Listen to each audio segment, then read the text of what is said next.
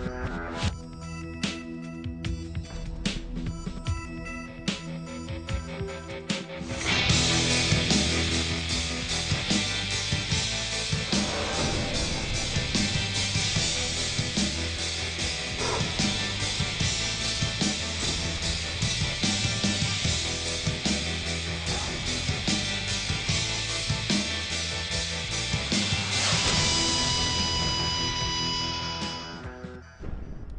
Ladies and gentlemen, welcome, and we apologize for any delay this evening, but we will right now get into our program, which is the debate night. Is Muhammad a true prophet or is he an antichrist? For Muslims, the question of Muhammad's true prophethood is indisputable. They firmly believe he is a true prophet and messenger of God, through whom God's divine revelations through history were perfected. For critics of Islam, is it Muhammad rather than God who is the founder of Islam? And the author of its teachings. Critics of Islam to deny the Muslim belief that Muhammad is a prophet of God. Welcome to Debate Night.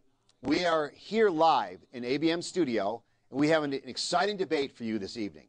Again, the topic of tonight's debate is Muhammad a true prophet or is he an antichrist?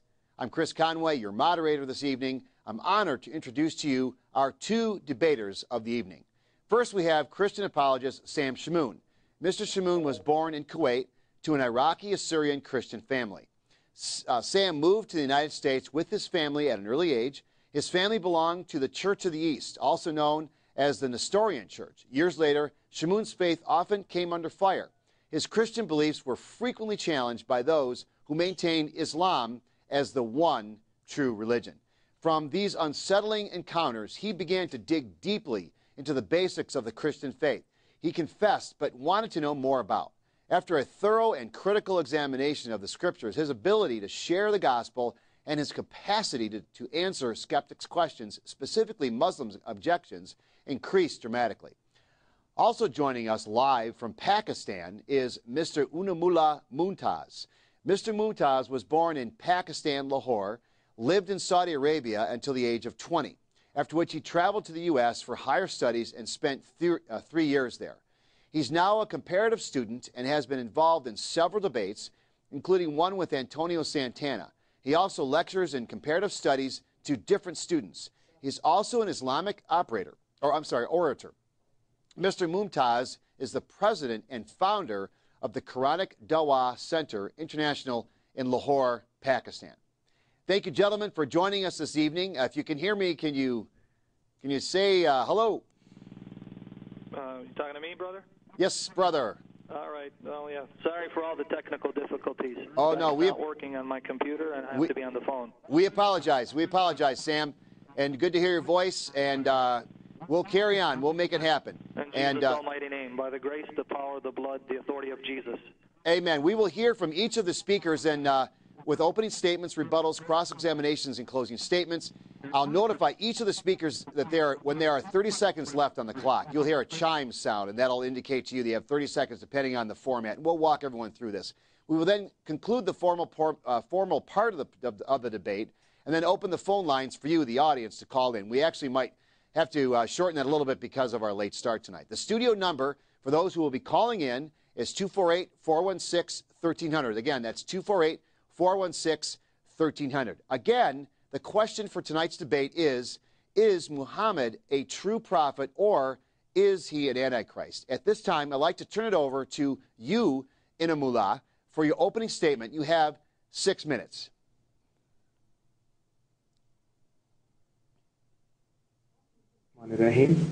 وقالوا لن يدخل الجنة إلا من كان هدى والنصارى تلك أمانيهم قل هاتوا برهانكم إن كنتم صادقين قال رب اشرح لي صدري ويسر لي أمري واحلل عقدة من لساني يفقه قولي Respected moderator, Brother Sam and my listeners and the viewers, the ayah I have read from the Quran is actually from Surah Al-Baqarah chapter 2 verse 111. It says that Jews and the Christians said you Muslim will never never be entered into Jannah. There is no heaven and salvation for you. Allah says to that, tell them that is their wishful desires and tell them that bring your proof if you are truthful. The subject which has been instigated by Brother Sam is that Muhammad being an antichrist or a true prophet. 1.8 billion Muslims in totality per se, we believe that Prophet Muhammad sallallahu from the mouth from God Almighty that Jesus Christ is Messiah. Masih, Hebrew word Messiah means Christ, which means the anointed one. Now let us see, this time is very premium. Let me direct, uh, jump directly to the subject. I'm going to quote Brother Sam. I'm going to quote 1 John chapter 2 verse 18 where John John is only the writer in the entire Bible which is mentioning about the antichrist. The antichrist antichrist means person who opposes Jesus, who denies the Christship of Jesus, not the Godship of Jesus, Christship of Jesus, and who denies the second coming of Jesus Christ. The test which is given according to your scripture. I don't want to philosophize over there and over there and getting out sidetracks. John says, John says, little children, it is the last time. And as he heard that Antichrist shall come. This John is telling to the children that Antichrist will appear on before the day of judgment, and there is another Antichrist already which are in the world. Now he gives us the test. He said that who is the liar and the Antichrist in 1 John chapter 2 verse 22. 1 epistle of John chapter 2 verse 22 he said out clearly, unambiguous, unambiguously, and tersely. He said, Who is the liar that he denieth Christ, ship of Jesus Christ, that he denieth, denieth Jesus is the Christ. He is Antichrist. This is the test then he gave. Then after that, in 1 John chapter 2, verse 23, further on it continues, Whosoever denied the Son, Son means prophet in the Hebrew idiom, Son, the Son of God in the Bible, referring to the righteous or the pious people. The same help not the Father. Father is the synonym for God.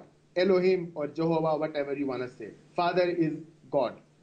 So obviously Prophet Muhammad believes in Jesus and God Almighty. Then, first epistle of John, chapter 4, verse number 1. It says, Beloved, do not believe in every spirit, but try to believe the spirit whether they are of God. Now, the true spirit is a true prophet, not something pneuma in a Greek, which is Holy Spirit, as the Holy Ghost. He's telling about the prophet. True spirit is a true prophet, and the false spirit is the false prophet.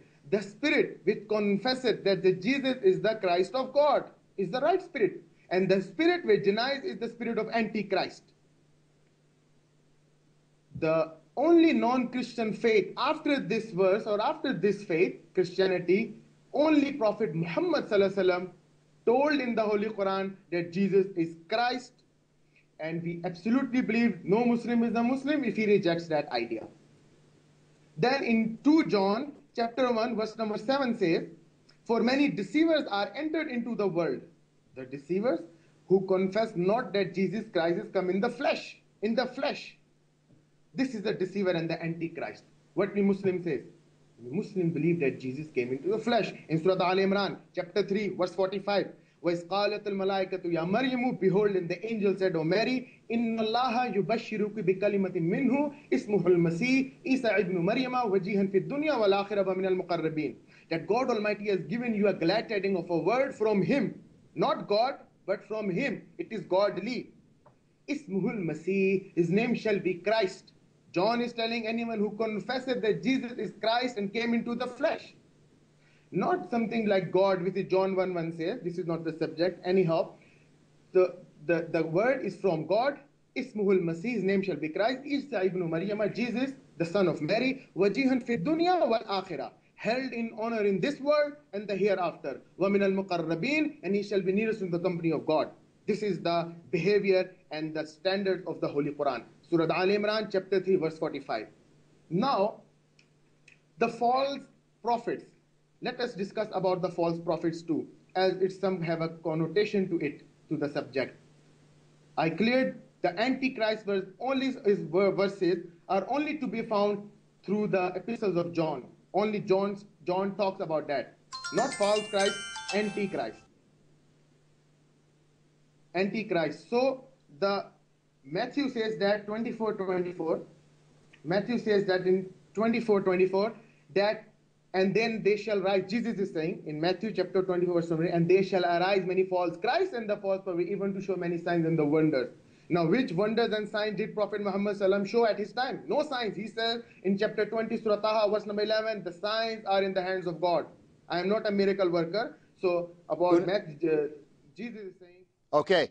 Inamullah, thank you very much. Your uh, time is up. Uh, uh, kind of getting uh, acclimated here because of a late start. But again, the chime sound will be 30 seconds, at the, and that'll, you have 30 seconds to finish. Okay, at this point, we're going to restart the clock, and we will have uh, Brother Sam Shamoun start, and we are ready to go. Six minutes. You're all set. Go ahead, Sam. All right.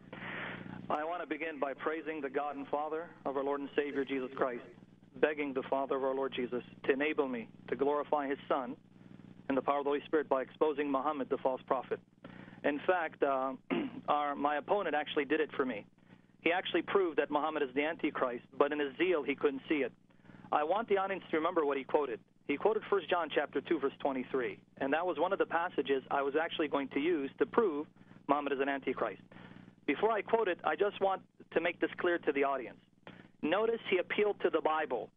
If the Bible is good enough to prove that Muhammad is a prophet, then by the same token, it's good enough to prove he's an antichrist, a false prophet.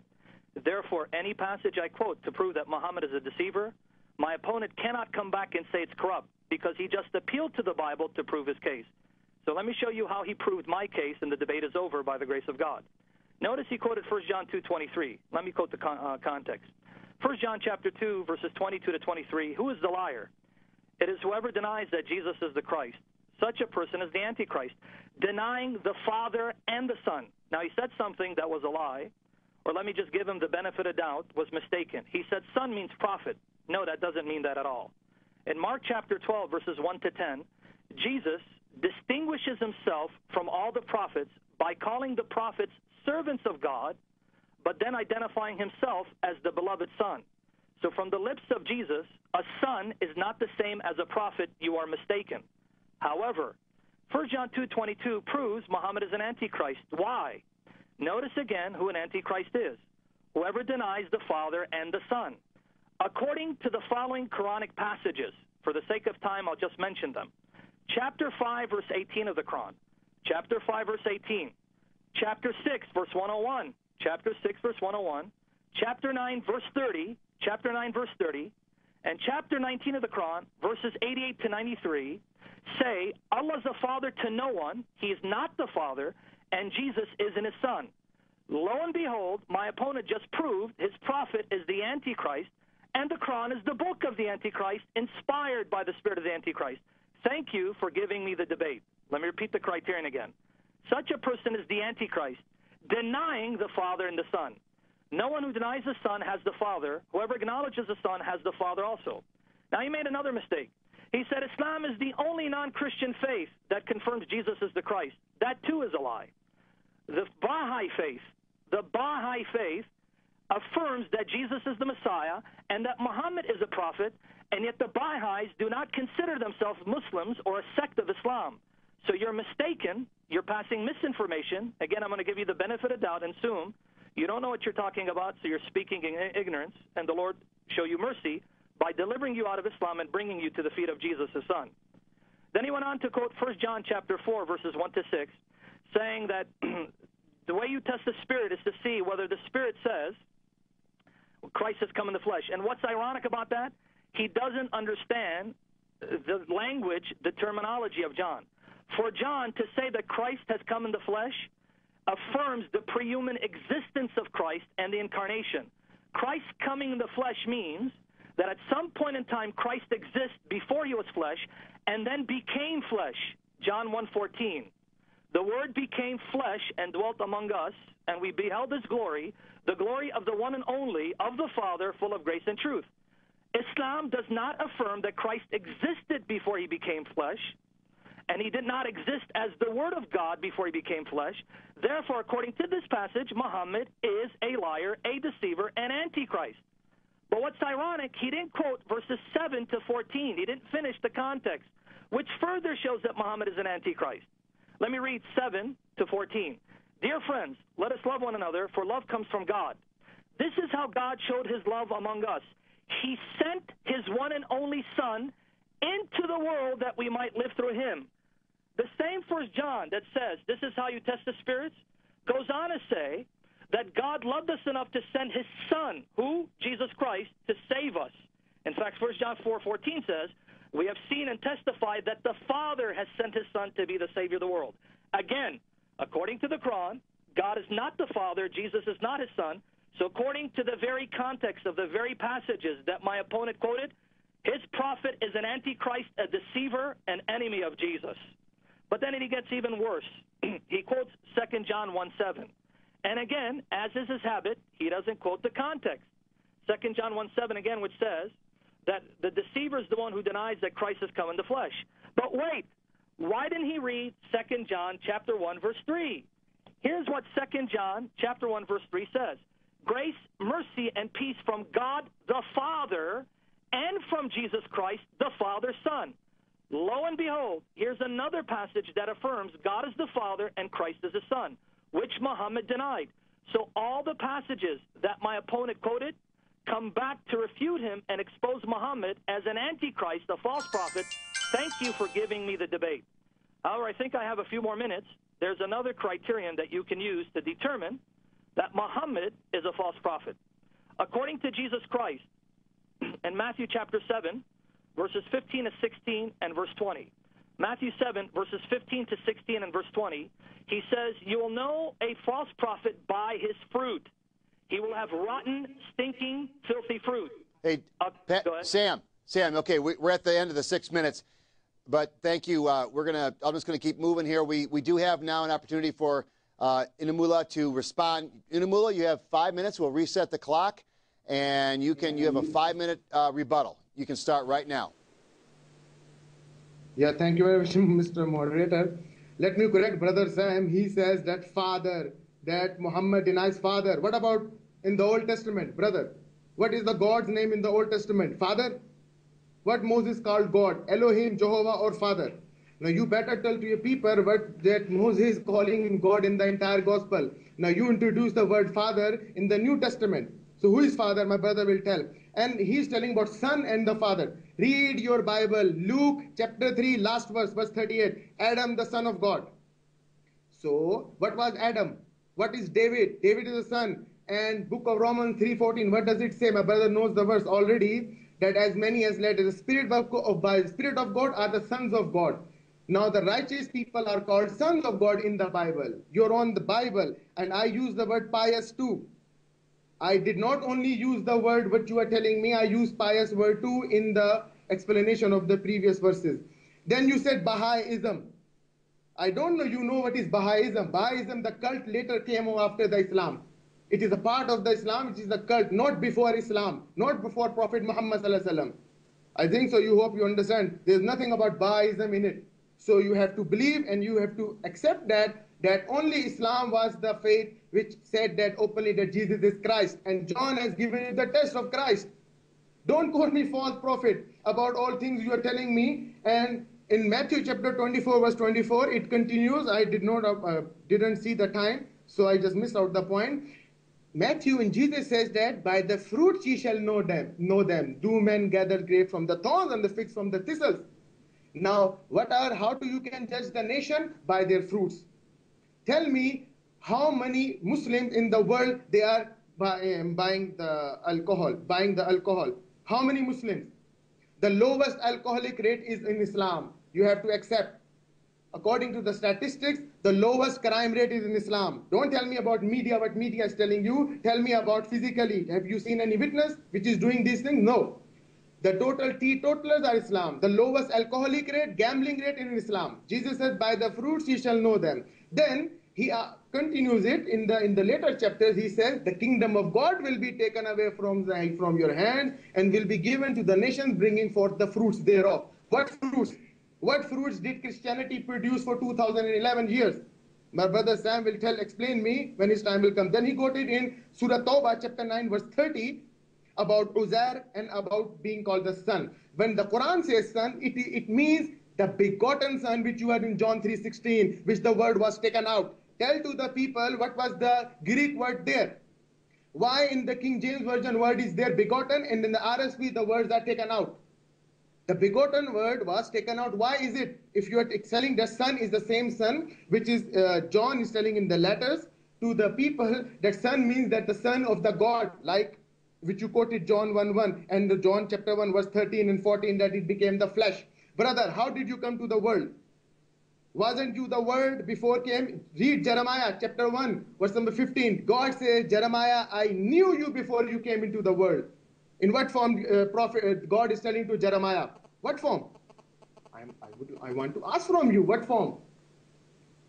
So the thing is that you are telling me that I don't know what is the son and I'm ignorant. Brother, Sam, don't tell me I'm ignorant. You tell to the people what was the name for God written in the previous scripture. Do they call them father? Jews call them father or what? So the thing which your father, you are making father relationship with God is some special extra particular way. This is not the case.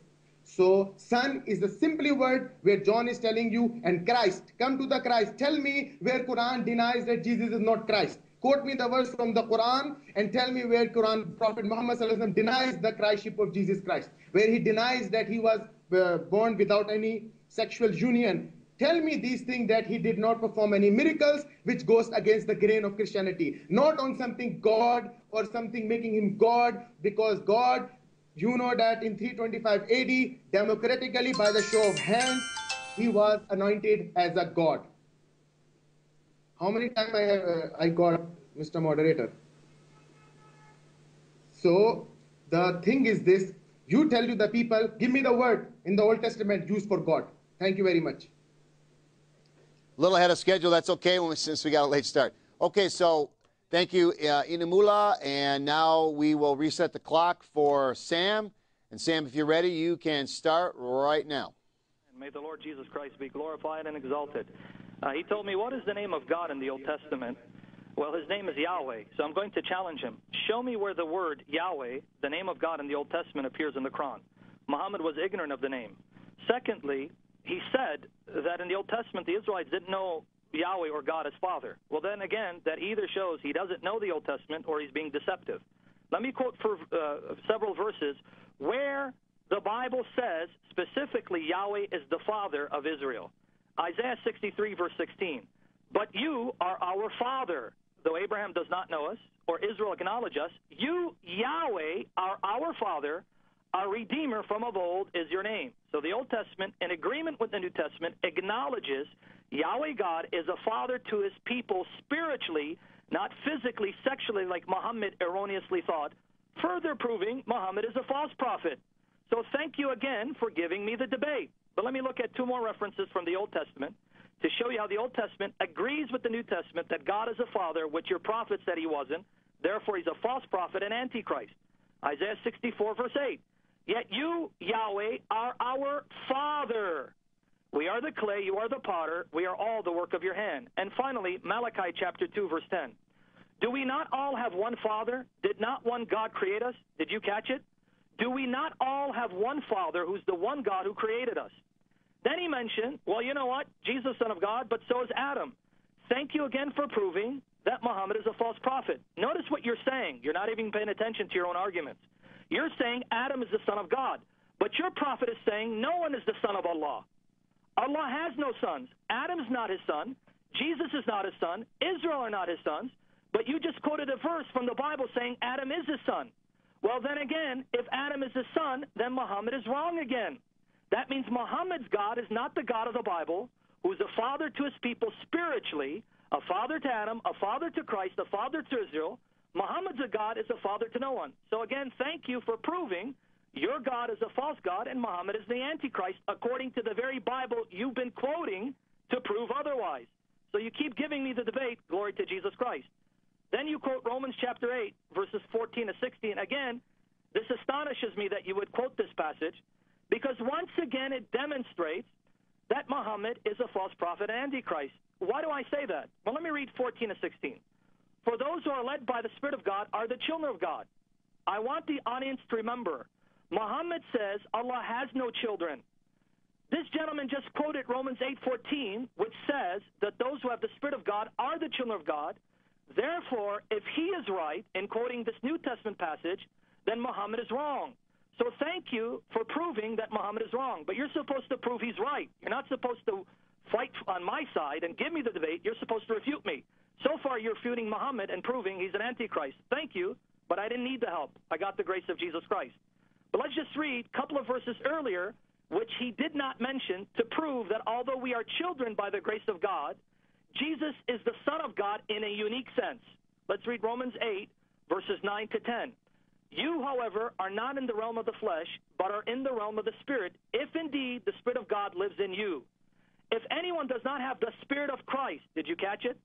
The Spirit of God is the Spirit of Christ. They do not belong to Christ. But if Christ is in you, wow. The verses before 14 to 17 says, to have the Spirit of God is to have the Spirit of Christ. And to have the Spirit of Christ living in you is to have Christ living in you. The reason why I can be a child of God is because the Spirit of Christ, the Son of God, lives in me, making me a child of God by grace through adoption. So Romans chapter 8 again proves that Muhammad is a false prophet and antichrist. He stands condemned by the Holy Bible, the very book that you appeal to. Then he said that Baha'ism is a cult of Islam. I beg to differ. Ask any Baha'i and they will deny that. They will deny that Baha'ism is a cult of Islam. But however, let me grant that argument to you. I guess my opponent is not aware that early in Christian history, Islam was being identified as a cult of Christianity.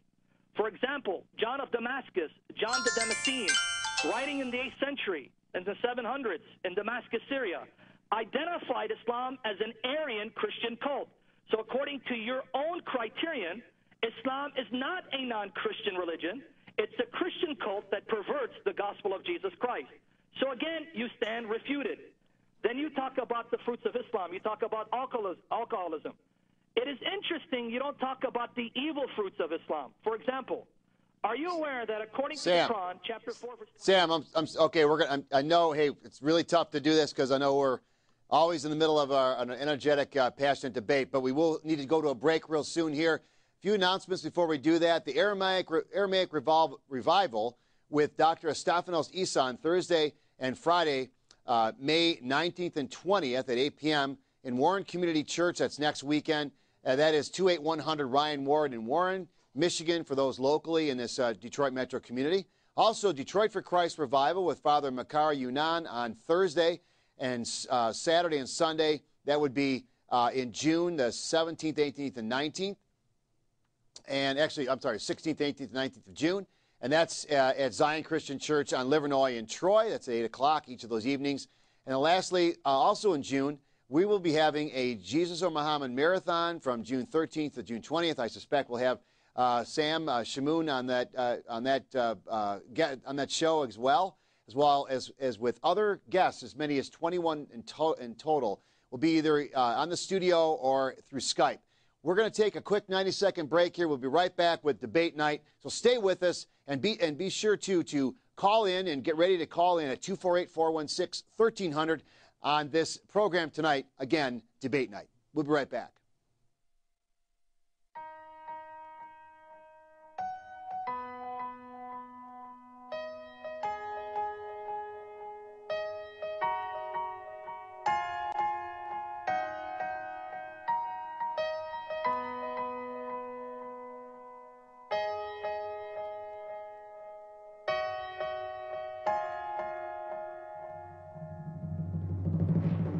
You'd like to support ABN's ministry, you can give us a call at 248 416 1300 or you can visit our website at www.abnsat.com. ABN appreciates your support and donations.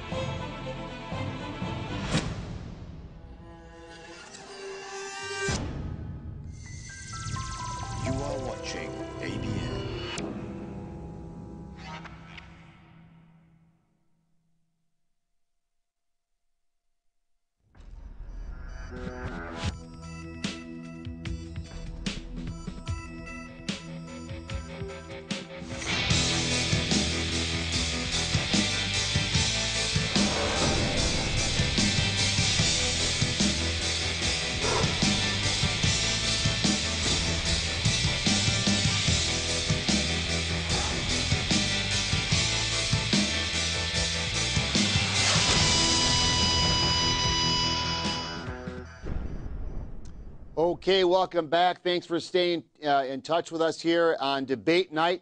Again, the topic is Muhammad, a true prophet or an antichrist. We're going to get into the second segment here. Uh, we're going to start out each of the uh, debaters tonight, the Muslim starting first and then the non Muslim.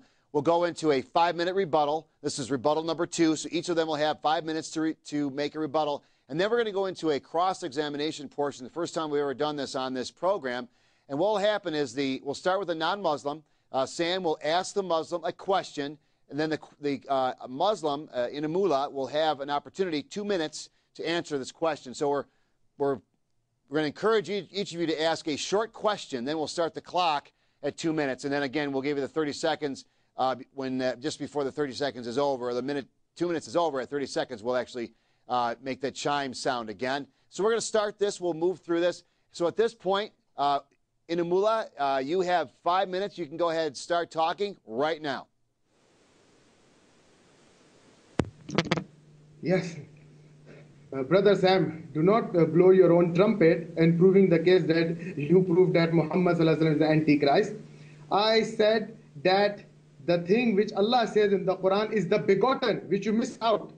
Tell me in John 3.16 why the word begotten was taken out. Because begotten was not to be found in the original. The word is there, monogenes. Mono means one, genes, genesis means beginning. So the word think that, that this word was not suitable, so they thrown out. So on the entire basis, you are telling the thing which you are making out, it means then Adam must be the begotten son also. Every sons of God are the begotten sons of God in the Bible, according to your definition. Islam eschewed this word. You are an, Arab, you know the word was for Allah in the Quran is Rabb, Rabb, but in Arab it for the father is Ab. So in Islam, Prophet Muhammad Sallallahu if you were saying that this is on his handiwork, he missed out the word Ab. He chose the word Rabb. Why? Because there are some people who are making this thing, the sickness is creeping in their minds that God has sired a son, which you are believing in it. So if you are saying that Jesus is the, some special case, then that, that special case must be applied to everyone. And point is Antichrist. Prove me the Antichrist, not the Godship of Jesus. This is not that John is telling you about God, the Father and the Son relation. You said Yahuwah. What is Yahuwah? What is Elohim to there? You quoted me about Isaiah 64 8, about the Father. So Isaiah, in Isaiah 64 8 is the Father, then Jesus says his Father, then he's referring to Elohim. No, not the father-son relationship, according to you. So, Elo, what is Jehovah? What is Jehovah? You tell me. Yah is the provocative exclamation mark. Huwa, he, oh, he. You are an Arab, you know Yahuwah means oh, he. That's all. Oh, he, Elohim, not oh, he, father.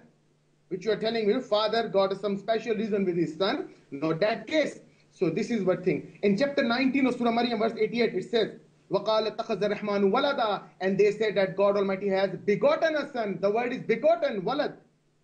Lam yalid walam yulad. He does not beget, nor he has begotten anyone. The issue is begotten, not the son. Son is the Hebrew idiom which was used for the righteous people, for the prophets, and for everyone. In your, in your Bible, the righteous people are sons of God. In Genesis 6 4, in Jeremiah 31 9, Ephraim is the son of God. What? Begotten son? No. In Exodus 3, chapter 3, verse 44, and David is the son of God. Today I have begotten thee. So what son of God is? Is it direct lineage to God? Adam in Luke chapter 3, verse 28, son, 38, sorry, son of God. In what? Direct lineage to God? No. It is metaphorically, not physically. When you say physically, then everyone must be the sons of God in a literal sense, which you are telling exception to Jesus. Why are you making exception to Jesus? If only for this God that he doesn't have any father, then Adam has no father and no mother. Stand to reason on that. So you are begging the question and telling that, blowing your own trumpet, that I have won and I, I proved that Muhammad is Antichrist. You haven't proved nothing, my brother, because subject is Antichrist, opposes to the Christ. Tell me where Prophet Muhammad says that Jesus is not coming. And then you are again misquote, misquoted me about Baha'ism you better check it again, and you are now still forcing Bahaism. Then you said the thing about Christianity that the, uh, the Arian cult you are telling about, it was the beginning of show me the proof, give me proof. Tell me where did you get that source? Tell to the people, read that source and tell me where did you get that. Show me the reference of encyclopedia or anything which got some worth. How about that? Tell to the people about this what you're telling me. So I'm still stand by Islam is only the faith which says, and you're talking about the evil when you were cut off. It was better you being cut off. You're telling about the evil. I said, don't quote me media. Media is in your hands. Trilateral commission. Whatever you like, you move it. That's the what you media is doing. Don't tell me about media. Quote me about the Muslim which you're living in the midst of you. Which Muslim comes and threatens you? If anyone threatens you, you will not be over here in sitting and talking to me. This is what our courtesy and latitude of the Muslims. So don't don't talk about this thing about evil and all stuff. Because if you talk about evil, then read about the Midianites. What happened to Midianites and Moses gave sent his army? Why is not the evil? So Moses is Antichrist. You tell me in Numbers chapter 31, what, what happened over there? So, what about Samson? Killed 500 Palestinians. Was he an Antichrist? He is the hero in the Bible, Samson and Delilah. In book of Judges, chapter 16, verse number 15. Read over there. Okay, thank you very much. We have uh, uh, five minutes are up now, but and as we reset the clock, just to, just to confirm, we did because we had a late start tonight. We will be going uh, the extra 20 minutes or so. So as long we're going to go through the whole format of the program past 9:30. Just let everybody know that so we'll give you an opportunity, as we had planned originally, to have everyone call if you'd like to. Again, 248-416-1300. So get in. You can actually start calling anytime, even though we won't be going to the calls until after this next break, which is coming up. But before we do that, we had a lot. We have a lot more to go through, and at this point, our, the clock is reset. So, uh, Sam, if you're ready, you can start talking right now. All right. May the Lord Jesus Christ be exalted by the power of the Holy Spirit. Let me address the last point real quickly when I wanted to demonstrate some of the evil, rotten fruit of Islam. He said, Don't quote me media, right? Quote me chapter and verse. That's exactly what I'm going to do. I'm not going to quote your rotten fruit. I'm going to quote the rotten fruit of Muhammad and his companions. Let me just give you an example of how rotten the fruit of Muhammad and his companions were. And these are commands he received from his God, who's not the God of the Bible. Chapter 4, verse 24 allows Muslim men not only to rape captive women that they have taken as booty in battle, women that they've taken captive in, in battle, but they're also permitted to rape married captive women. Chapter 4, verse 24. Also prohibited are women already married, except those whom your right hands possess. Now, notice this. The Quran says you shouldn't sleep with a married woman unless she's a captive. So the Quran says if you've taken a woman captive in war, then rape her. Now, the Muslims say, well, it's not rape. It's his right, conjugal rights.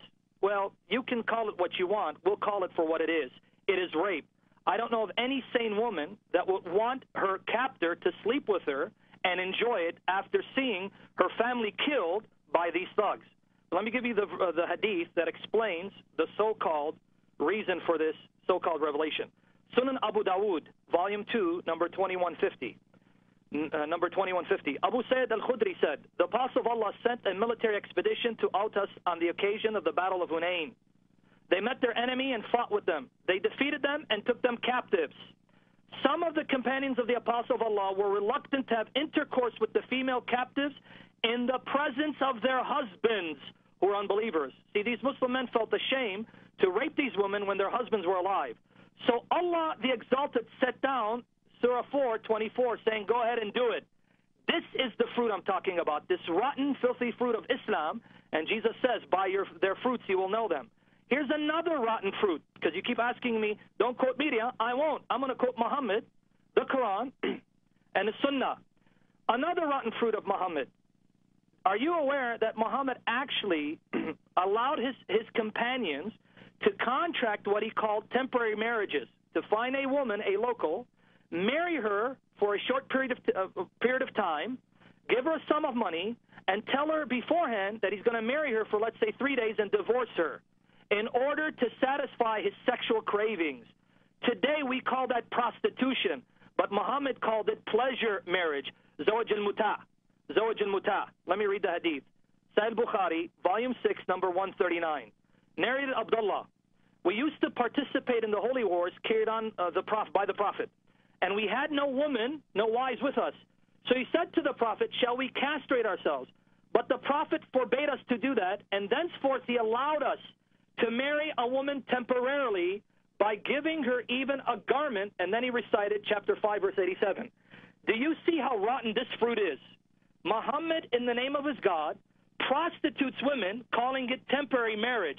These are the rotten fruits that Jesus said look for in order to know whether someone is a false prophet. And your prophet is a false prophet according to the holy, pure teachings of Jesus Christ.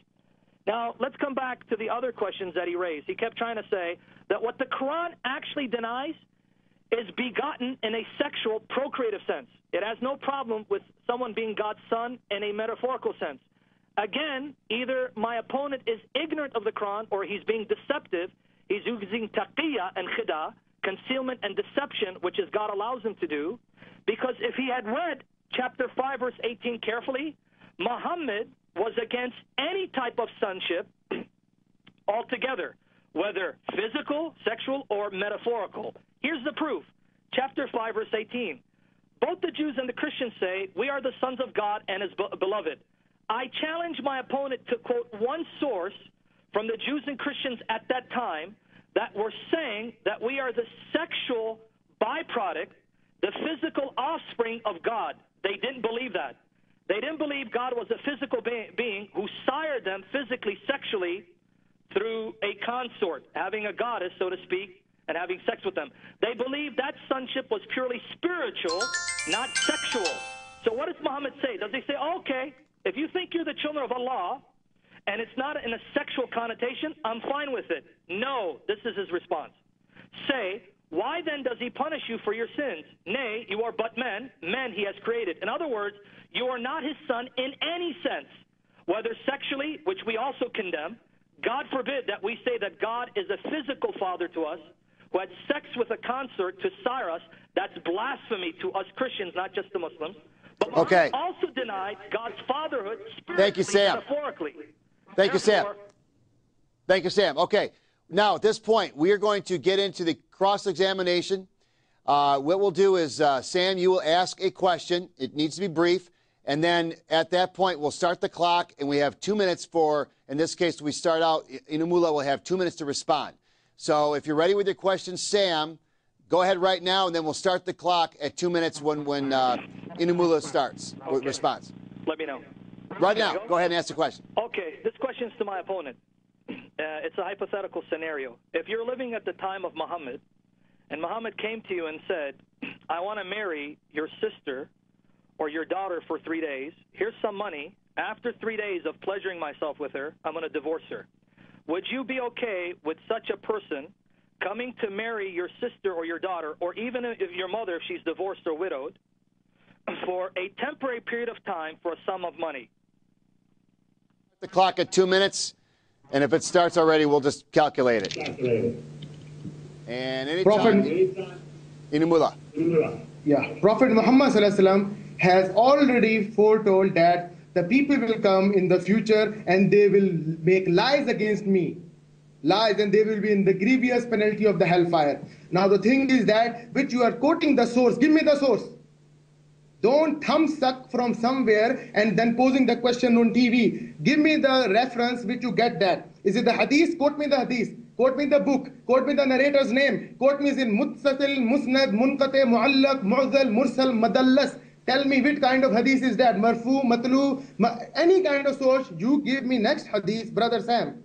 If you any and next time if you give any hadith, you tell him about muta and all that stuff, irrelevant to the Antichrist. Come to the subject. When I quote you begotten, why the word begotten was taken out?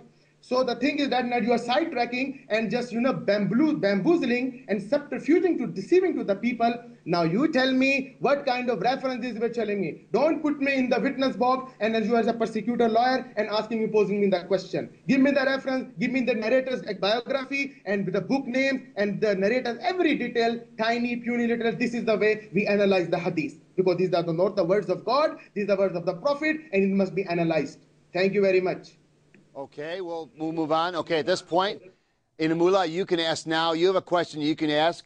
And then uh, Sam, Shamoun, you have two minutes to respond. Okay, Inamullah, you can go ahead and ask that question right now. Can you hear me, brother, or no? I, I can hear you.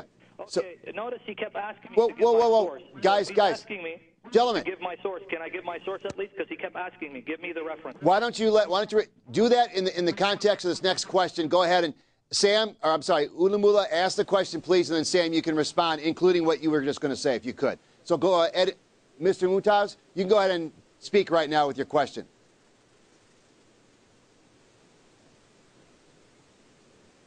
Uh, we're not hearing you. Can you hear me, brother? We can hear you Yeah. now. The, the question to the Sam is still the same. I make his task easy because I don't want to sidetrack. The question is in chapter 3, verse 42, when I say that Jesus, the Prophet Muhammad sallallahu says that he's Christ and the word from him, do you take exception to that verse or not? Okay, starting the the clock right now at two minutes. Go ahead, Sam, you can respond. The moderator allowed me to also answer the other question because he asked me two questions. Here's Go right the ahead. reference for Muhammad. Go right ahead. You got two minutes. Okay, well, let me. Uh, okay, anyway. Here's the reference uh, proving that Muhammad prostituted women and called it temporary marriage. Sahih Bukhari, Volume 6, Book 60, number 139. Sahih Bukhari, Volume 6, Book 60, number 139. Also, Sahih Bukhari, Volume 7, Book 62, number 52. Sahih Bukhari, Volume 7, Book 62, number 52. I want the audience to notice how he conveniently evaded answering my question because he's ashamed of this teaching of his prophet. And I want to correct you. This is relevant to the topic because these are one of the fruits that demonstrate whether Muhammad is a false prophet or not. I think you forgot when I quoted Jesus saying, You will know them by their fruits. Who? False prophets. Here is a stinking, rotten fruit of Muhammad that exposes him as a false prophet. So I am on topic. Now, coming back to your other question, you said, Do I take exception to Surah 342? Yes, I do, and here's why. Muhammad denies the implication of the title Messiah. I quoted 1 John chapter 2, verses 22 to 23, 1 John chapter 4, verses 1 to 14 to show you what Christ means in reference to Jesus. Now let me repeat that so you don't attack straw men. You've been attacking straw men left and right. When the title is applied to Christ, according to the New Testament, it is used in the sense of Jesus, who was with the Father as his word, who then became flesh. You even quoted it, 2 John 7. Christ has come in the flesh. This Christ existed with God the Father before he became flesh, and then he became flesh. If Muhammad denies that the Christ became flesh, thereby affirming that the Christ already existed before he became flesh, then I have a problem with Muhammad. But are you saying Muhammad agrees Jesus existed with Allah before he became flesh? If Okay, so, time's up. Embrace Christ as your Lord and Savior because you're one step closer. Okay, I, I, I you got to stick with the clock. You'll have a chance to speak again. We're going to stick with this format here. Okay, now at this point, Sam, you can ask Inamullah. We have two more opportunities to do this. Sam, you have it, now you can ask a question, and then once Inamullah starts responding, we'll start the clock again. You have two minutes to respond. Go ahead, Sam. Ask your question at this point, please. Well, I'm going to repeat the same question and add also the other nasty fruit that I mentioned. Uh, I asked him the first time, what would he say if he lived at the time of Muhammad, and Muhammad came and said, Listen, I want to marry your mother if she's widowed or divorced, or your sister or your daughter for three days, and I'll give her a garment, and after I am satisfied and pleased with her for three days, I'll divorce her. I wanted him to answer whether he'd be okay with it or not, and if not, why not? And why is he still a Muslim? Related to that is the other passage I quoted, Surah 424. What would you think of Muhammad if he came and conquered your village, killed your father, your uncle, your brothers, and then took your wife in front of you and raped her in front of you, saying, This is something permitted to me by Allah? Would you be okay with it? If so, then you're more dangerous than I thought.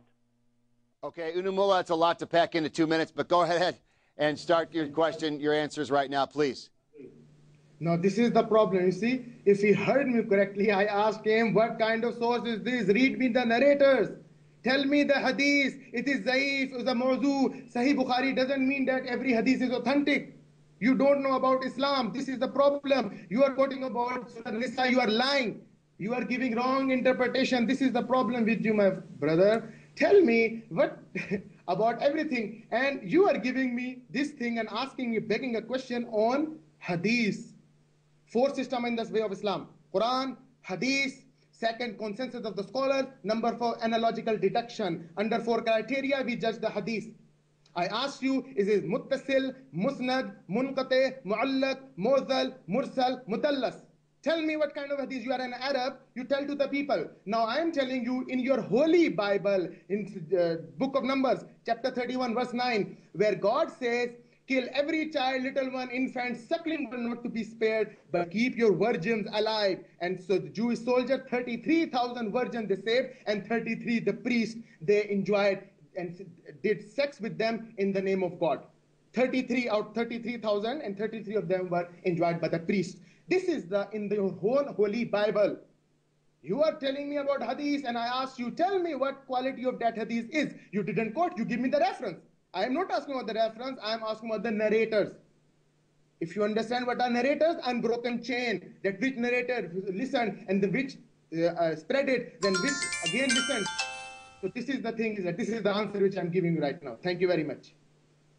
Okay, we, uh, we're a little ahead of schedule on that one. And now, uh, Inamullah, you can ask Sam a question, a brief one if we could, and then Sam, you have two minutes to respond. Then we're going to get into our closing statements. So, so you have uh, one last question to ask, and Sam, then you can uh, respond with the two-minute uh, time period. Time period. The question is again simple. I will not sidetrack. I promise to the Christians I will not sidetrack. Question is in Jeremiah, I quoted you. God says, Jeremiah, I knew you before you came into the world. Give me the form of Jeremiah. If Jesus is, was in the beginning, according to your John's explanation, then tell me in what form Jeremiah knew, had known by the God Almighty in your Bible. This is a question. Time is yours. Thank you. Okay, Sam, you have two minutes to respond. Jesus Christ, this guy's making it even easier for me to refute him and prove that Jesus is Lord over Muhammad. Uh, number one, Jeremiah chapter 1, when God says to Jeremiah, he knew him, it means that God had already decreed, ordained, determined that he would create, create Jeremiah to be his prophet. But this is a false analogy to what the Gospel of John says concerning Jesus. Notice that if you go to John chapter 1, verses 1 to 3, it does not say, in the beginning, God knew the Word who became flesh. So you're comparing apples and pineapples, showing how desperate you are to refute the clear testimony to Jesus being the eternal Word who became flesh. Let me read to you John chapter 1, verses 1 to 3, and verse 10, and verse 14, to see the difference between the language of Jeremiah chapter 1 and what John has to say about Jesus and the other New Testament writers. In the beginning was the Word. It doesn't say in the beginning God had ordained the Word or knew the Word. And the Word was with God. It doesn't say it was with God in his knowledge. And the Word was God. Can you please show me where Jeremiah 1, God says to Jeremiah, Not only did I know you, but you were God with me in the beginning. He was with God in the beginning.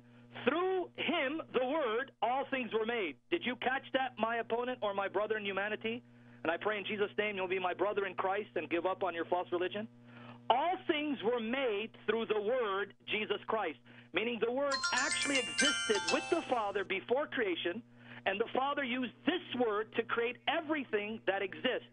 Show me that in Jeremiah chapter 1, verse 5. Show me that language. You won't find it. It's not there. You're comparing apples and pineapples. John chapter 1, verse 10. He was in the world, and though the world was made through him, through whom? The Word. All the world was made through the Word. You know what that means? It means Jesus Christ, the Word, not only made you and me, okay. I, I continue to apologize. We have to keep on, on track here without time. However, at this point now, each of you will have a closing statement. We'll start with Inamullah. We have five minutes on the clock here. Inamullah, at this point, you can make your closing statement right now. Thank you very much, Mr. Moderator. God bless you. And the thing is which that I'm, you know, just rehashing everything. I quoted, brother, that Antichrist, what is anti, Antichrist? The definition given by John is very simple and vivid. He's not playing fast and loose. He's, he tells to the people that Antichrist, the person who denied the Jesus as being a Christ, Messiah, Messiah. And Quran, the thing which Muhammad gave you to you Christians, you will never be able to repay him. He made us 1.8 billion Muslims to believe in Jesus. If he, you know, the simple thing Muhammad could have done at his time, he can ridicule, ridicule the idea of Mary that she was, uh, she produced the child without a father. This is the easiest that Muhammad can did at his time, but he didn't do that. He made us to believe that that is what Quran says, ذَلِكَ مِنْ أَنْبَاءِ الْغَيْبِ نُوحِيهِ إِلَيْكَ This is the part of the tiding of the unseen which we revealing unto the apostle by inspiration. You were not with them when they cast lots with which, should, which one should be charged of taking care of Mary. You were not even with them when they disputed at the point. So Allah Bari Ta'ala is telling everything with Prophet Muhammad accepting without any nip or a thought excuse. And if you remember, you know, listen, listen to Sam, what he's telling to the people. Irrelevant things. I quoted a book of Numbers, chapter 31, if you remember. I quoted his Bible, the Holy Bible, which is the inspired word of God. God is inspiring the most telling to Moses, to the Midianites, do this and do that. So, explain me. Then I asked him the question of a hadith. The, give me the what kind of hadith is this? He did not even know the words of hadith. This is what I'm saying. It is called thumb sucking. It is said thumb suck. You thumb suck it, it is very soothing, then you just expound and articulate from your mouth. This is what he's doing all the time, everywhere. This is his habit. It is he, he got his this privilege and let him do, do this till eternity. So the thing is that that it will not give him honey at all. No honey for him at all. So let us reason together and see. Give me the hadith, quote me the narrator. Otherwise, shun no hadith at all. Talk on the Quran. I love to take it. He mis he just mistranslated everything from the Quran and he's telling, uh, approving that about the son. Absolutely, Quran denies the son relation because it was the habit of the Jews in the idiomatic sense. It became literal. You Grecians, you Christians became literal. What was metaphorical to the Jews became literal to the Greeks. God sired a son. Why the word begotten taken out? My brother did not even quote that thing. Why the word begotten taken out? My brother is quoting me that 300 years before, if you was there, I am asking you only 200 years before, if you were born, the only Bible available in English was King James Version, and the word was there begotten, and every preacher and a hot gospeler was telling the word begotten to the world. Now you got correction. That is the Quran says. وَقَالَ اتَّخَذُ الرَّحْمَنُ وَلَدًا لَقَدْ جِئْتُمْ شَيْئًا عِدًّا تَكَادُ السَّمَاوَاتُ يَتَفَطَّرْنَ مِنْهُمْ منهم وتنشق الأرض وتخر الجبال حبدا and they say they from their from their mouth that God has begotten a son it is that, that the skies are ready to burst and the earth is ready to split asunder and these mountains fall down in the falling down uttering ruin and they say that Rahman has begotten a son. It is about begotten, the side relationship, husbandry. I hope you understand now, not the son which you are saying is a metaphorically way. So this is the thing. Muhammad is not antichrist. We got in chapter 5 verse 75, Mal Masihu ibn Maryam illa Rasul. Jesus Christ, the son of Mary, was no more than apostle of God. John says, simple test. Anyone who's coming, the spirit which believes and confesses Jesus is in flesh. Obviously, Prophet Muhammad did not say that he was not flesh, and he said that when he was taken up, he's coming back in flesh too. In Hadith, he's coming back in flesh before the day of the judgment. In Surah Zukhruf, chapter 43, verse number 61, Jesus Christ is the sign of the hour of the day of judgment. He is the sign, and the sign is the physical. In chapter 4, verse 159, Quran says that no one will be left in the Jews and the Christians to believe in Jesus Christ before his death. So when he will come, everyone will believe him. So we absolutely, 100%, in totality per se, we believe that Jesus is the Christ of God Muhammad is not antichrist. This subject was not supposed to be mooted, but my brother forced me and instigated me. So we have done the subject. And he is, he is utterly helpless and failed to provide single strong evidence from the Quran. He is just jumping over there in Hadith. He did not quote the Hadith well. Thank you very much. Okay. At this point, uh, we have one last portion before we go to our next break, and that's a, a five-minute closing statement uh, for you, uh, brother. Uh, Brother Sam, go ahead. You have five minutes. You go ahead and start right now with your closing statement. May the Lord Jesus Christ be exalted in what I say and enable me to speak truth without error. Uh, let me just address a few points that he raised, which he me, accuses me of not addressing in my rebuttal period.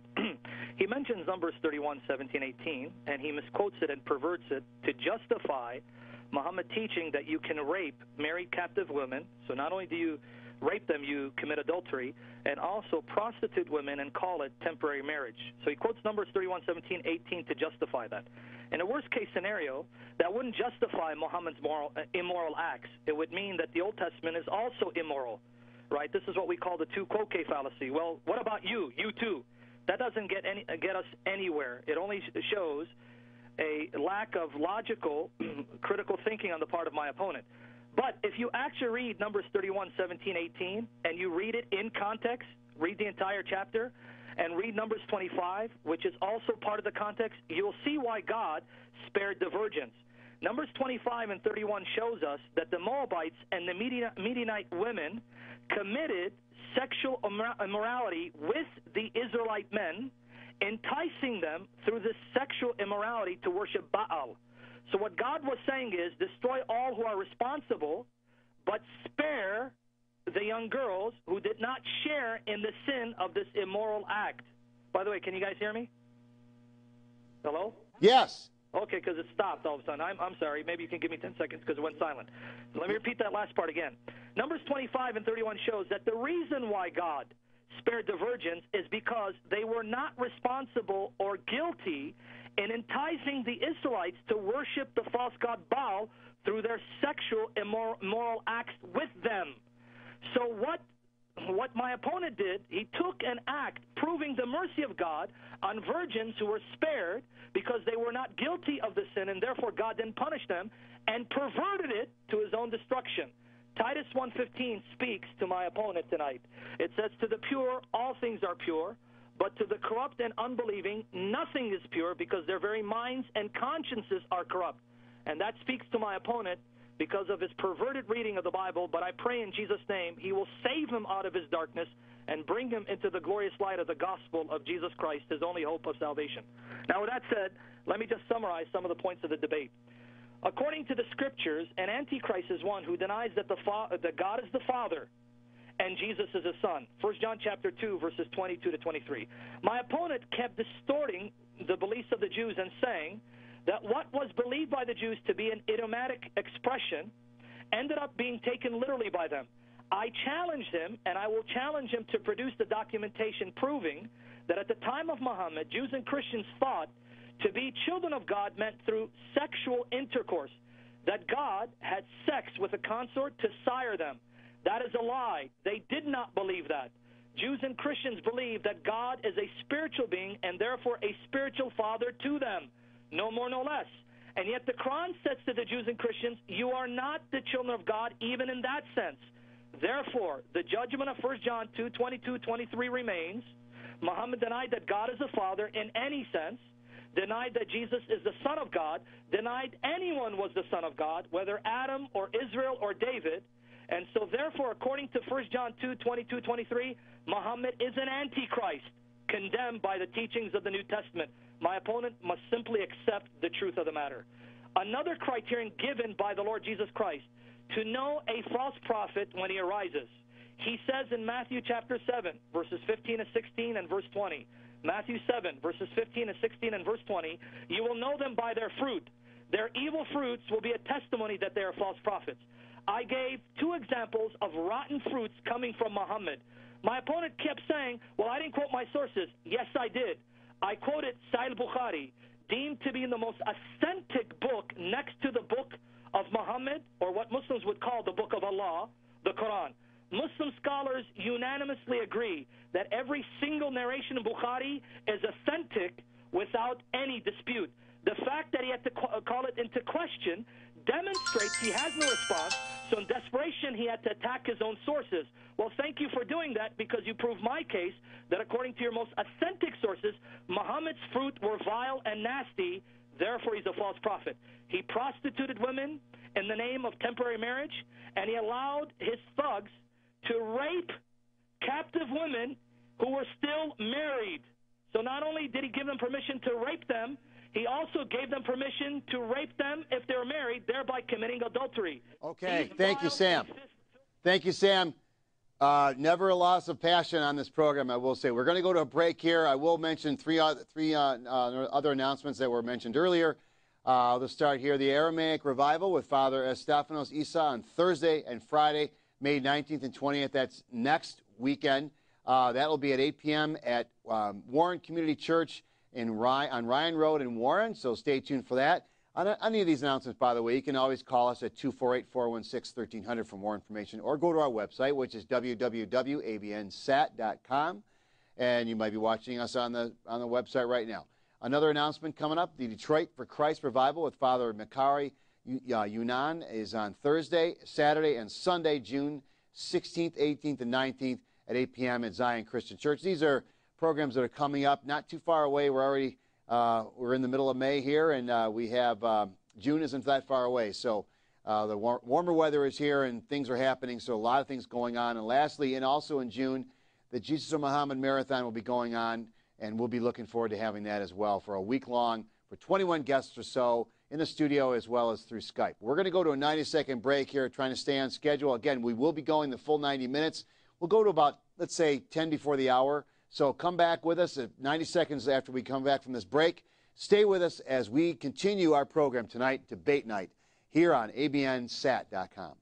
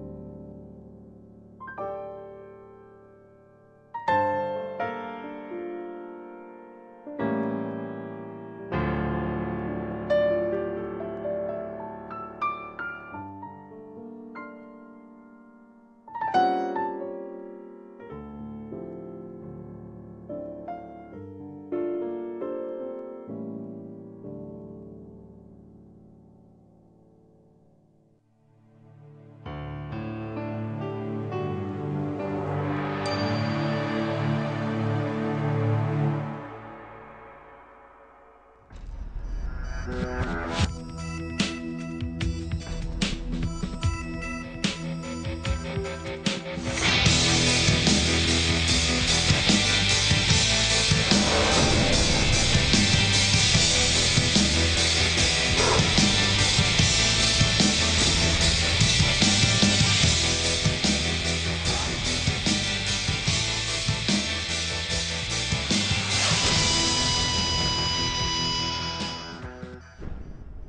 welcome back. We're in the last uh, segment here of our program tonight on Debate Night. Again, the topic is Is Muhammad a true prophet of, or I'm sorry, is Muhammad a true prophet or the Antichrist? We have callers. We are uh, ready to take those callers right now. We uh, trust that you are going to ask a question that's on topic. We're going to ask you to be brief. We're going to ask you also to turn your audio down if you haven't done so already. And we're going to have Brother Rahil uh, go ahead and you can start talking and you can tell us your question and who is it directed to, sir? Uh, thank you, brother.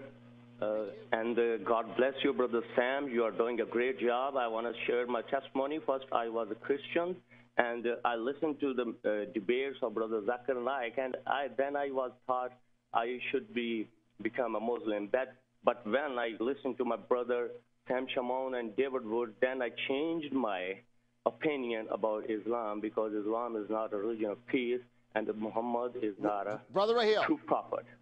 What is your question? My question, I wanted, uh, my question is, uh, how Brother Inamullah says that the Muhammad is a prophet, and the, the Quran says in Surah Al-Tawbah, verse number 9, uh, uh, Surah 9, verse number 29, fire those who not believe on Allah, who not believe on the messenger who not believe on the prophet who not believe on the Islam and on the Quran. And if they pay jizya, then leave them. Okay? But we, I live in Pakistan, a Muslim country. The Muslim terrorists and Muslim mullahs in our area say us, if you want to live here, pay us the jizya. and they threat us. They said that you cannot spread your the gospel. So the, the Islam, the Muhammad spread the Islam in on the terrorism, on the fighting. But the Jesus Christ says, Brother, Rahil, Brother Rahil, we have to have your question, sir. Please. okay. The, my question is, if uh, to Brother Inamullah, We're ready. uh, Inamullah, he quoting to the uh, Brother Sam Shamoun, where in the Bible says uh, that uh, these things, these things. I have a question for you, him. Show me where is the uh, word Tawheed in the Quran. I challenge him and Let, show me. let him answer. Brother Inamullah, you, you can respond, please. Uh, Mr. Moderator, he posed two questions. Which question should I respond? Both of them or one or second one? Which one? Go ahead. Try with both. Okay, my brother quoted in the Surah Tawbah, chapter 9, verse number 29. It is about Khulfa Rashidin, my friend. You reverted to back. It is talking about, about the Khalifas. When they ruled some nation, they gave three options. Either become Muslim or give jizya, tax, or come to the ground to fight. This is every general, when he conquers any land, he gives some kind of criteria. So in Islam, the Khulfa Rashidin and Jews and everyone lived under the full pleasure of Muslims. So this is what 929 is telling. Read the explanation about that. My brother Sam quoted this was all the time I heard him, but this is the, not the subject for eternity. It is about now which Muslim state got these Khalifa? No one. So in which Muslim is killing you right, right now? Tell me. So this is the ayah reserved for that time in the Khalifa's time, and every general has a right to do and lay down his own rules. So this rule was given to go from God. Read your own Bible. What happened in your Bible in Luke chapter 22, verse number 43 or 33, where Jesus says that to, to his disciples that get, sword. What sword? Why he needs sword? This Jesus Christ to retaliate or to peel off the apples? What? So it is the self-defense. This is a system laid to Jesus, to the Moses, and every law has a tendency to change the character of the people. And the second question, uh, what, Uh, okay, what we're was going the to move question? on. We're, we're going to just make it one question because we want to maintain our time frame here and we got other people. Uh, Brother Sam, would you like to respond at all to that and be brief if you could? Sorted the historical context of Surah 929 and perverted Luke 22, 35, 38. Let me address Luke 22, 35, 38. He's comparing apples and pineapples.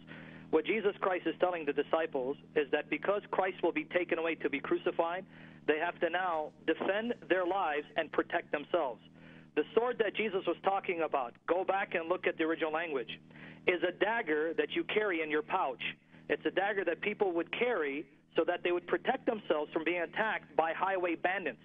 Jesus was not telling them, take this sword and go spread the rule of Christianity and give people three choices accept Jesus, pay a sum of money so you can feel humiliated, or we kill you.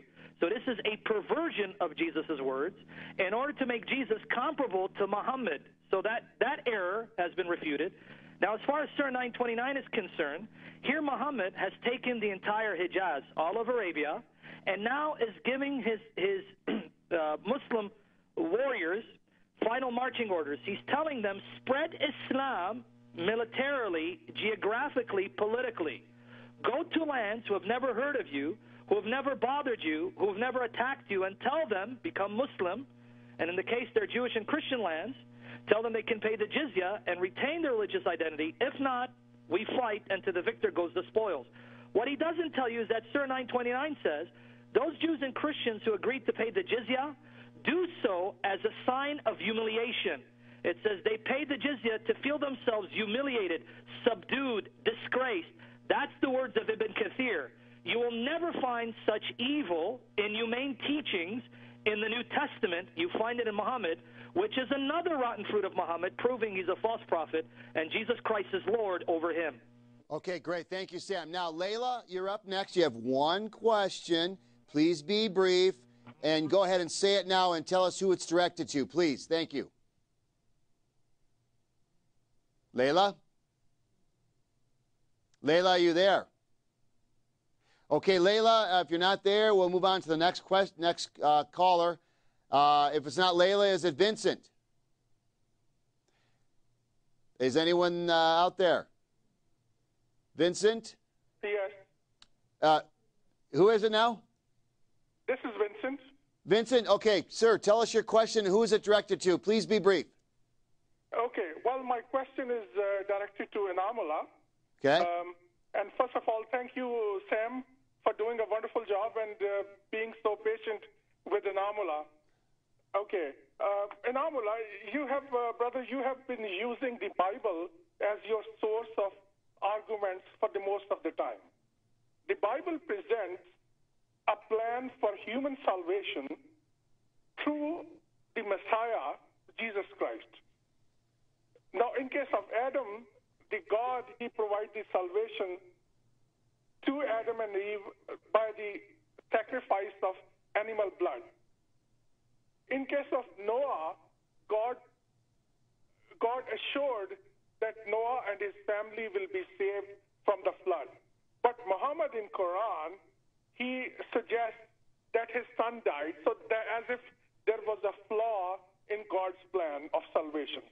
Similarly, when it comes to Jesus and his plan of salvation, Christ was crucified, whereas Muhammad in Quran he clearly um, he denies that. So how come, uh, on one hand, you say that Muhammad he actually um, he is not an antichrist, and at the same time he is going completely against the plan of salvation which Christ brought for the humanity. Okay, Thank you for listening my question. thank you. Inamullah, your response, please. Yes, let me correct my brother. The idea of salvation which he's propounding from is not to be found in the Bible. It is the creation of the Saint Paul. What Jesus says, quote me Jesus. Don't quote me Peter, but quote me Galatians, Galatians. What Jesus says in Matthew in chapter 5, verse number 17. Do not think that I come to destroy the laws of the prophets. I do not come to destroy, but to fulfill. Till the heavens and the earth shall pass away, one jot, in the Hebrew word, one jot, shall in no means pass away from the law until all be fulfilled. So whosoever breaks the least commandment and teaches men so shall be called least in the kingdom of heaven. Was he bluffing to the Jews? He said that anyone who breaks and anyone who fulfills shall be called great in the kingdom of heaven. The salvation which you are talking about is something else. Read Matthew, brother Sam, read Matthew chapter 18. And my questioner, dear questioner, that Jesus says his disciples came to Jesus and said, Master, who is greatest in the kingdom of heaven? Jesus says, Bring that little child, bring it to me. Be humble like this little child. These are the greatest in the kingdom of heaven. Jesus says, You kill prophets from righteous Abel to Zechariah. Sorry, the son of Zechariah. Righteous means sinless in your Bible. Was Jesus bluffing to the people? Why he say, why is comparing man to the Roman Catholic says that, that if a child dies, he's going to limbo, the hell of the Roman Catholics. So the thing is that Jesus says, be humble like this little child or these little children. Why he's telling to children? Because child is innocent if he's getting this uh, original sin idea which you're telling, original sin is not to be found anywhere in the Bible. In the concocted evidence which you are telling, you will find about Paul is telling everything which is on the loggerhead is between, not between Islam and Jesus, is between Islam and Saint Paul, which was the self-elected disciple. So this is the thing which I'm telling you that nowhere salvation comes from from the blood. God says in the book of Isaiah, I forgive sins for my own sake, and I then I don't remember. God says, I do not remember, and that's days of day after tomorrow. He says, bring that sin. I want to redeem it. I want to punish you. I want to rectify you. I want to reprimand you. God didn't say that. God says, I forgive sins for my own sake. Now you tell me that God is lying or what he was bluffing or subterfuging to the people. Thank you very much. Brother Sam, you have an opportunity to respond to that.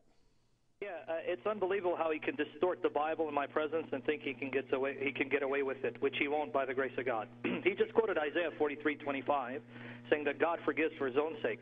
He forgets to read Isaiah in context. The reason why God can forgive for His own sake, because in Isaiah chapter 53, verses 1 to 12, God will send forth His servant, which the New Testament identifies as Jesus, to die as a sin offering for the sins of His people. Let me just read Isaiah 53, verse 10.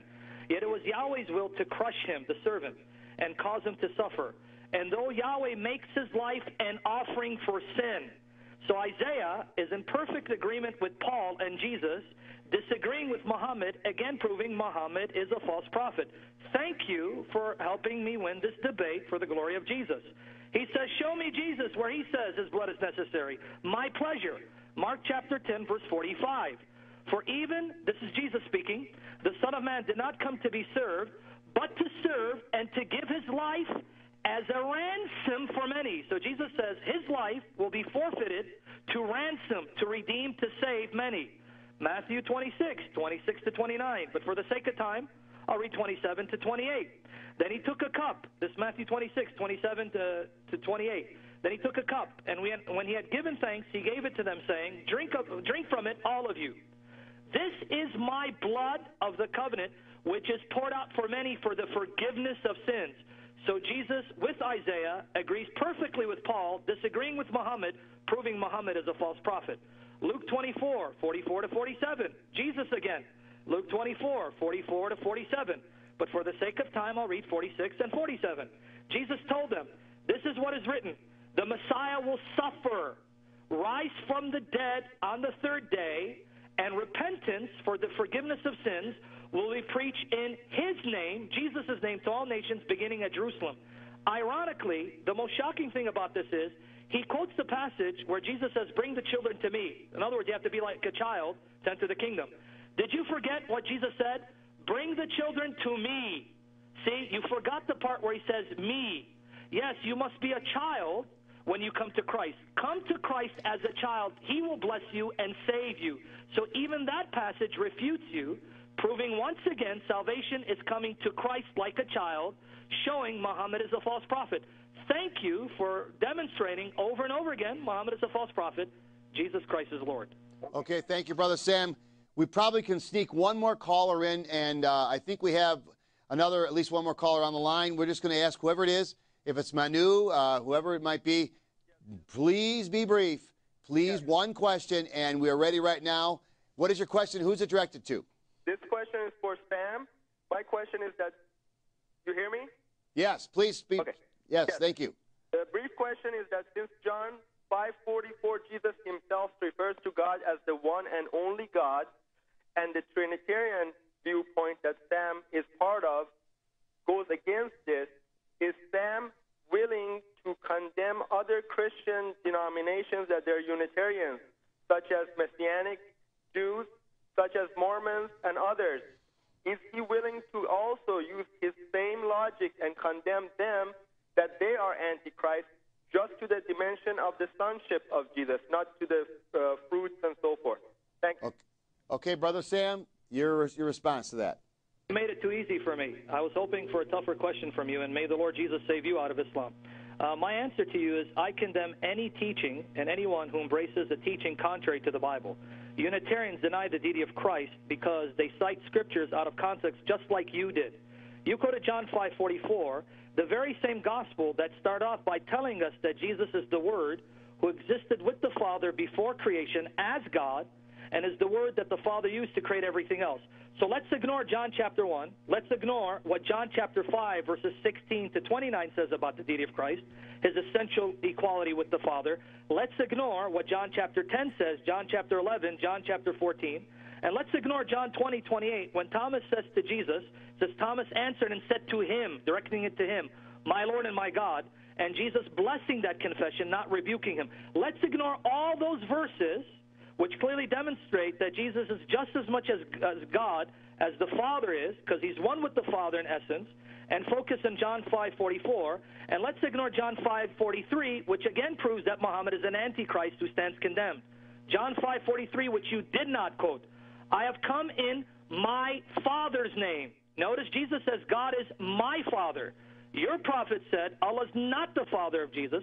So the very context of John 5 condemns Muhammad as an antichrist and to answer your question, anyone who denies what the Bible teaches in context is not a true Christian. And if anyone denies the Trinity, the Father of God, the divine assumption of Christ, then he too is an antichrist. And I pray he repents like you repent, because Jesus Christ is your only hope. And it's not the Jesus of the Quran, it's the Jesus of the New Testament who's the Christ of history, your God and Savior. Accept him now, because when he comes, you'll bow the knee, but it'll be too late for you. Okay, uh, Un- Brother uh, Mumtaz, you may respond to that, and uh, we'll be real, real close to the end of the show here. So go right ahead and do that if you could. Brother Sam, first decide is the topic is false prophet or antichrist. Sometimes you say false prophet, some- sometimes antichrist. Stick on the subject. Prove to the contrary that Jesus is not antichrist. Jesus is not Christ. Mention Christ in the Bible. Uh, sorry, in the Quran. Now coming back to the brother's question, brother is right. Tell to the Trinitarians that you are not Christians. Sorry, Unitarians. You know, Brother Sam, that Unitarians were the beginners people when they, received the message. Unitarians. You're talking about Trinity, you said ignore everything, ignore this, ignore that, ignore this. why ignore this? Tell me why Trinity verse was removed from your Bible if Trinity was what Jesus came to preach. You remember in John, in, in, in John, was John the Baptist telling in the Bible, in Matthew chapter 3, verse 11, he says that the mighty is coming after me, and he will baptize you in the name of fire and Holy Spirit. Nowhere in the Bible Jesus ever baptizes anyone with fire and Holy Spirit, and these are two things in it, not three. Your form formula is Father, Son, and Holy Ghost, which the verse of first epistle of John chapter 5 verse 7, I'm telling to the questioner, brother, listen to me. In RSV, this verse is taken out as a fabrication. Why it is taken out? Because you are absolutely right. Unitarians, Jesus was considered to be a prophet, righteous prophet, not the something uh, uh, connection to the God. The brother Sam is begging to the question, trying to prove from Jesus' mouth. He says that Jesus says, My father. He says, Jesus says, Your father, your father, my father, your father, my father, including Judas, everyone. And they all are in one. In John chapter 17, verse 22, we all are one. So, what do you mean by one? In totem pole, as to worship all together as one? No. So, Jesus refers everyone that your father, O our father, hallowed be thy name. Who is our father? So, he's, he, he was the father of everybody. This is not even that he's something Jesus got some supernatural powers, only that he is directly connected to that God as being that he is only the Father. So the th- ques- question still is there that Trinitary Trinitarians they came after 325 AD by Constantine in the Constantinople in Council of Nicaea, where democratically by the show of hands they anointed Jesus as God, and rest of them they persecute by by the deity name of Jesus, the deity by the name the deity of Jesus Christ they persecute the early Christians. Read the history, friends and foes alike. Everyone will tell you the high, the, the biggest massacre by the deity of the from the deity of Jesus Christ, that calling him God, the highest massacre was done by crusaders, crusaders, Christian crusaders. Anyone who doesn't believe that Jesus is in the part of Trinity, kill him, finish him. This is what the you people spread, the pioneers, the Grecians, the pioneer message of the Trinitarians. But in actual, the real founders of Christians were the Christ said, You are not of me who does not take his cross and follow me. That cross was one God, and Jesus is messenger of that God. Okay, not that he was the something supernatural or God. So this is the response to the question. Okay, Brother uh, M- uh, Mumtaz, thank you so much. Uh, Brother Sam, thank you as well. And all of you who have called, and all of you that have watched, and all of you have uh, been with us tonight in this program. We will be finishing up the program now. Uh, the, as, uh, as we often say around here, the debate, even though the show is over, the debate continues. Uh, we are grateful for this opportunity to bring this program to you tonight here on ABN, uh, Aramaic Broadcasting Network. We're going to sign off for tonight. Uh, please tune in next time. And, and also, always know that you can always call us here at the ministry at 248 416 1300, as well as check out our uh, website anytime at www.abnsat.com. If you have any further questions, comments, or anything you'd like to share with us, please feel free to do that. We are a uh, ministry uh, supported, uh, we're a, a, a um, visual, uh, I I'm trying to say. Uh, we are supported by our uh, viewers, if I can spit it out here. Uh, and we do appreciate all of you who have been calling in and supporting us and praying for us. We're going to sign off. We, God bless you for being on this program tonight. For Brother Sam and for uh, Brother Mumtaz, so much great. We're so grateful for your being on the program tonight. Continue to stay tuned to our further programs. This is Brother Chris, and we're going to sign off for tonight. Have a wonderful evening, and see you next time on Debate Night.